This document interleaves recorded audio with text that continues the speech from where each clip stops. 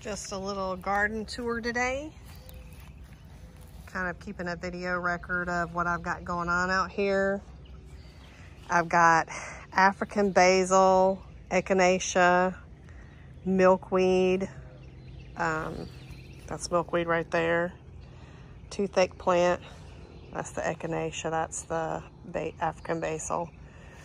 This is lemongrass right here. And this is, I don't even know how you pronounce it. Ageratum.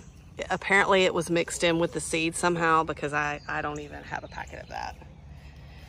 And then I'm trying to remember what this guy is. Oh wait, here's a tag. St. John's wort. That's St. John's wort. This is Tulsi basil. That's clary sage.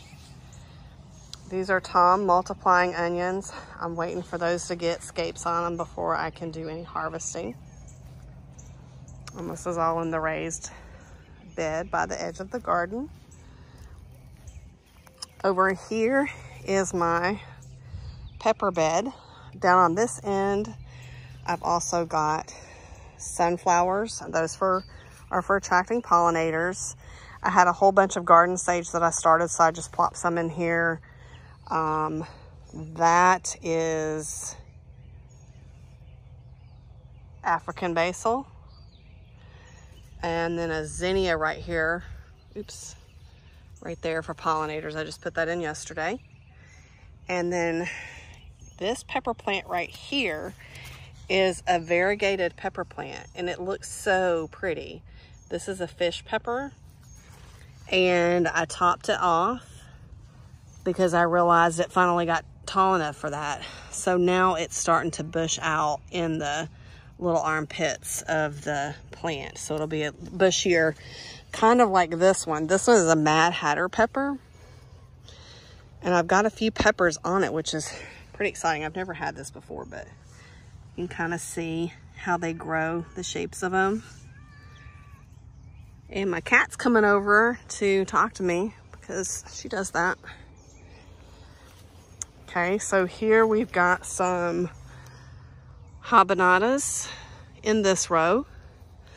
We've got shishito peppers in this row. I'm probably gonna have to pull that one out because it just doesn't look great.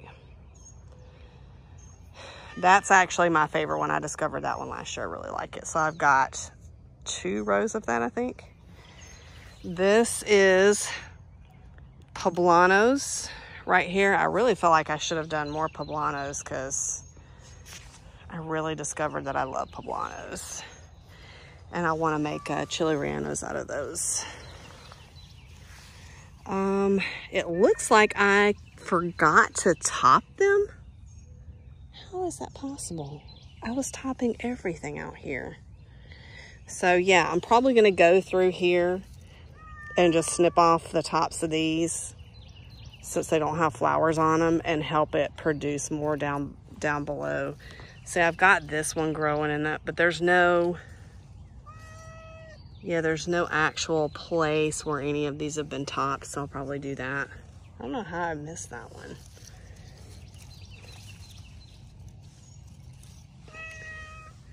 All right, so this one's banana peppers, and I do have, oops, have a little banana pepper growing right there.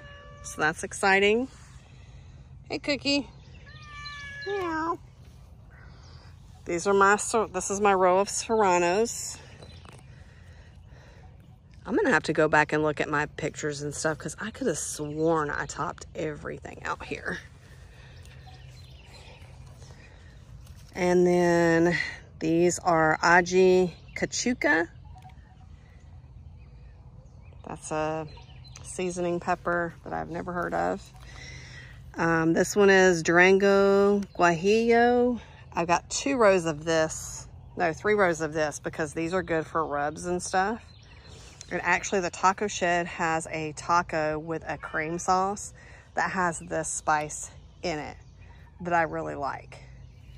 So I'm hoping that's gonna work out. And I've got some of these plants with some little holes in them and things, but they, they're doing okay. So I'm not too worried about it.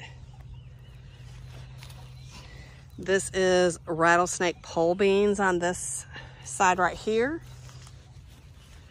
And then over on this side, I've got a borage plant and some Kentucky blue pole beans. And some of these beans are just, I've never grown beans before, so this is a learning experience. All right, so we've got, this one is not super happy. This one is being used as an aphid farm. So I've been told to put like neem oil or something like that on it. And if I treat it, then the plant will recover. And since this is on the um, plants, I only have one, two, three, four, I only have five of them. And this was actually one of the taller ones. So I've just been kind of putting it off because I've never done neem oil and I don't know what I'm doing. So that's my pepper bed. This is beans and cucumbers. So on this side of the trellis, I've got Kentucky pole beans. So um, I've got them on both sides.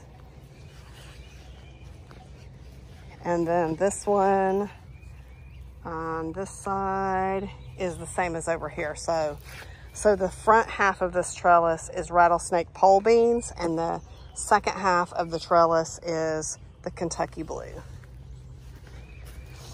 These are provider bush beans right there. Probably stuck my hand in front of it. Provider bush beans. These are black turtle and then this is where the cucumbers start on this side. So this is actually um, Mexican sour gherkins. I put some seeds in here and um, the thing about Mexican sour gherkins is they take forever to sprout. They grow so stupid slow, it's crazy. So this one is looking okay and I had like four seeds over here and this was the only one that came up and then I saw this thing pop up. I actually had a, I actually did have another one and I accidentally weeded it because it was so teeny tiny I didn't realize.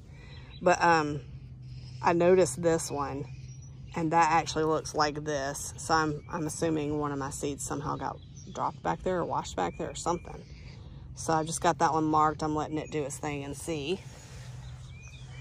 And then these are all cucumbers. This is Marketmore cucumber right here. And I think I've got four of those plants. And then this one is Chicago pickling cucumbers, and I've got four of those. Now around on this side, I've got some varieties that I had some seeds of. This is um, China Jade. These two are called China Jade. And then these other two are called Beit Alpha cucumbers. And I believe they're both supposed to be seedless. And they don't require pollinators. So I'm interested to see how these grow versus those because you can see the difference. Like the ones, the ones over on the front side, the front side of the bed are a lot smaller than these. And it could be because of how the sun is and like we've got this tree here. But I purposely put the cucumbers here because I thought maybe they could benefit from having some of the shade. I might actually get cucumbers longer into the summer. So I actually did this on purpose as an experiment. We'll see how it goes. Um, and then this is a nasturtium, and that's borage. That's a white one. My bigger, fluffier borages have been in longer. They're blue ones. I only got a couple of those somewhere. So these are the front two beds with the arch that I'm really excited to see get covered up. And then I will do a separate video for my other beds.